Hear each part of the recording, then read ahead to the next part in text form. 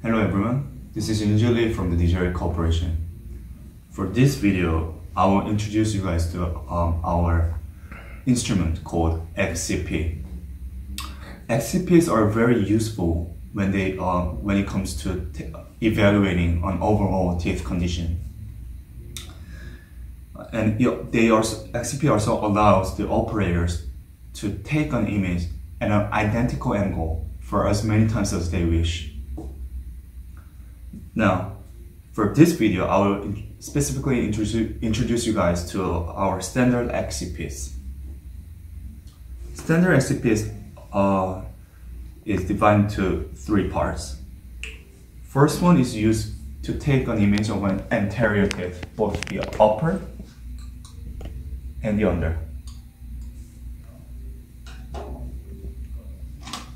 And the second one that has L on it is used take, to take a um, left upper posterior teeth like this and right under posterior teeth.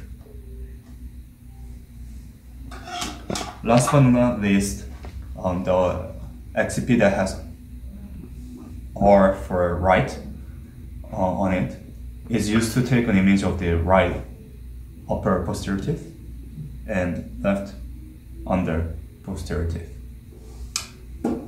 So now actually I'll actually show you guys to uh, like how we can actually use these XCPs uh, in real life.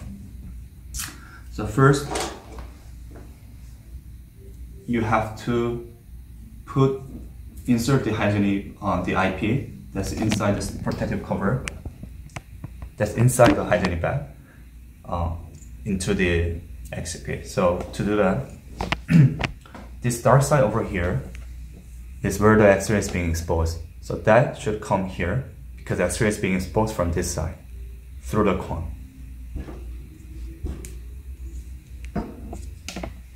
And one tip to give you here is that you have to put, uh, you should always start from the edge to make it easier for you. Yes. And so, as I demonstrated before earlier, to take an upper anterior teeth,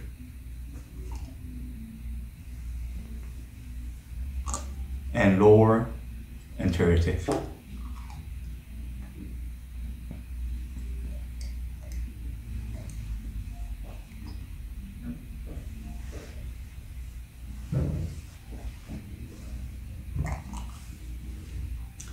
Now,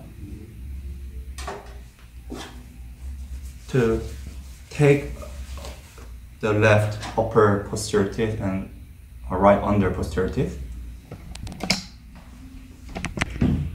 again, start just insert it like this so that the dark side is facing the X, the X-ray.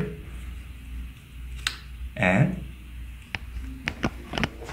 see this V angle right here? You have to basically fit your mouth into this V angle like this. And one more thing that I forgot to mention is that there are holes here that help you stabilize the XCP when, when it goes inside your mouth. So always bite on it. Think that you're biting on it.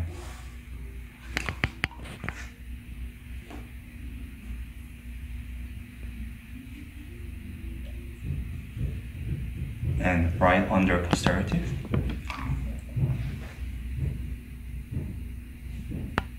Alright. Now moving on to next our next standard XCP.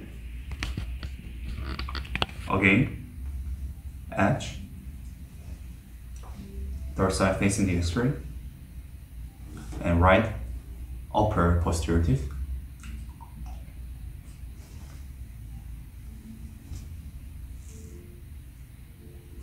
And left under posterior teeth.